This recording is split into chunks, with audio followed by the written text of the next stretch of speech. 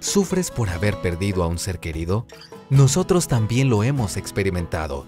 Acompáñanos en nuestro desayuno de esperanza y encuentra una vida mejor en Cristo. Sábado 28 de octubre a las 8 horas en el Auditorium Lirios de la Frater Ciudad San Cristóbal. Invitada especial doctora Olga Martínez. Entrada 50 quetzales. Después del 22 de octubre tiene un incremento de 25 quetzales. A la venta en www.fraterticket.com, centros de información y entre semana en la Frater Librería esperanza.